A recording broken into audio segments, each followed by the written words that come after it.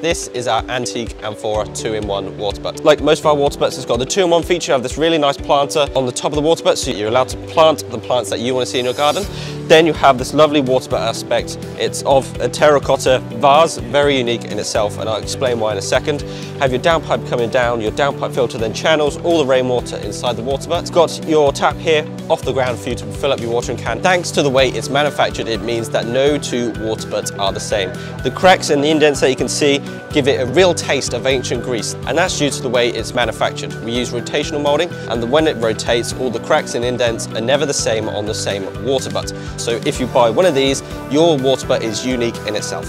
And these water butts come in all different sizes. You've got 260 litres, 350, and you've got a whopping 600 litres worth of water to use in your garden.